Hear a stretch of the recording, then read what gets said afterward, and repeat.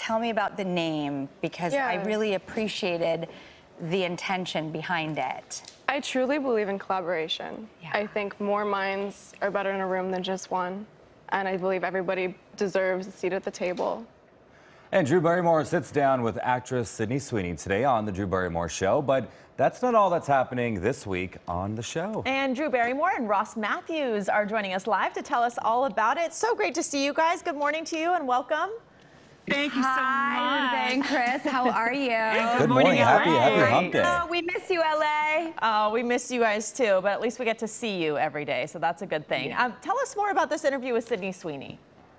Well, um, you know, as a fellow producer myself, I am really enamored with Sydney's work, her company 50/50 Films, because uh, the 50/50 is representative of giving credit to everyone who contributes to the process. I love that intention, right? I just think there is no I in team. There never was. There never will be. Mm-hmm. And what I love about her work is she produced Anyone But You, which is just such a hit amongst so many people, a sort of very elevated, well crafted rom com. And then now she's coming out with Immaculate, which is a real genre bending sort of if you love scary movies, this one's for you. But if you don't, it is also for you because it's more akin to a Rosemary's Baby. It's so quality and well crafted and I'm just so impressed with what she's putting out into the world. And I love her as a human being. She's the coolest person. yeah, it's a really great interview to see you sit down with, with her, knowing what you did in your in your 20s, producing, changing the world of en- entertainment. Thank you, Rossi. Yeah, it's really neat to see you sort of give her her props for doing that too, as Well, well. I, I love rooting people on. You and, do. you know, I was reading a love letter by Manohla Dargis, the hardest film critic in the New York Times, giving a love letter to Immaculate. And it makes me feel like, okay, I'm, I'm not crazy. This is a really incredible film. And when I see someone out there making such high quality stuff, it's, it's a great thing to shine a spotlight on it. Yeah, she really is. She really is killing it in her career, and I, I love how, how much y'all are promoting her because she's great to watch and very talented. Uh, but let's talk about tomorrow. Um, we're gonna talk Spice Girls. This is exciting. Mel B. She's got some Oh my Spice gosh, Girls My news. first Fill concert, the Spice Girls. I was so excited. Mel B comes here. I can't believe that was your first concert. How Yeah. perfect is that? Uh huh. And I dressed up like Ginger Spice. I had a I had a streak Oh, in my hair. I hair. could see the I, I dressed up as Scary Spice for Halloween oh, one that's year. fun. You Mel B. Yes. Well, the conversation is great. We have Spice Girls super fans, and then Mel and Drew go really deep about her book. It's a beautiful conversation. Yeah, her the conversation with Mel um, celebrates the Spice Girls and is really lively and fun with a bunch of super fans in the audience. And then we pivot to her book, um, Brutally Honest, and it is brutally honest. And she is, you know, being awarded by the royal family for her work um, with domestic violence.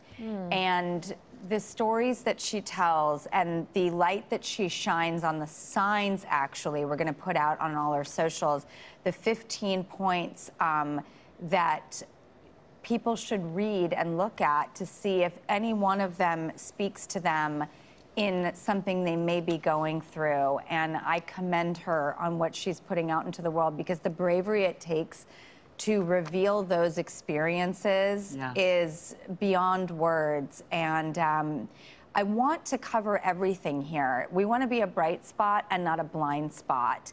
And I'm sort of a very sunshiny person, but we all want to go deep. And I think daytime has the ability to do that. Sure. But I've always loved the celebratory nature of nighttime. So we wanted to make a show that really is a hybrid of both. Totally, and, and our interview with, with Mel B is a perfect example of that because we have so much fun with her and we go deep. We get to have all the feels with her. And I think that's why we get to have so many extraordinary guests come on because everybody trusts you so much. It's a safe space. Thank you, Rossi, That's for true. saying that. That's this the is a safe space, Yeah. and we need that in the world right now. But we need a safe space that understands what people are going through Sure. and to have an innate empathy with that going into the process. Preach. Absolutely, and So I think true. that's what makes you all shine. And it's not easy to do. As people who work in TV, we know that that's a really tough balance, and you, you do Yeah. do an amazing job of it.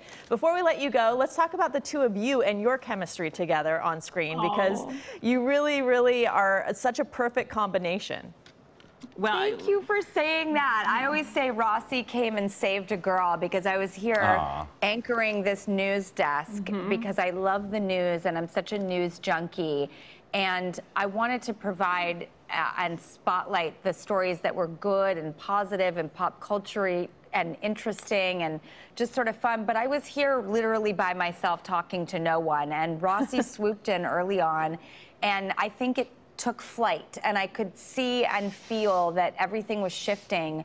And I'm just so lucky. That's how I feel. You know me, rescuing women. It's what I do. No, Same, the truth Ross, is she- same. She rescued me as well. Yeah, it was a it was a crazy time, the pandemic, you know, and and I had lost my mom, and it was just and everyone was scared, and we found each other, and a, a friendship and a family uh, had really happened between us with the audience in real time, and it's one of the most beautiful things that's, that's ever happened to And me. And when we're not on screen, we're usually on a phone encouraging each other. Or on a walk through the park. like to push ourselves Yes. as human Well, beings. Drew and Ross, talk- thank you guys are amazing. We can keep talking and talking. Uh, Oh, we'll keep talking. Go to break. We'll no, just keep I know, but hey. Yeah. congratulations Yeah, to you yeah. both. You both are killing it, and keep bringing more love into this world because obviously Thank we you need so it. much. Thanks, Thank guys. you Have a great Thanks so day. much. Thanks Be- for having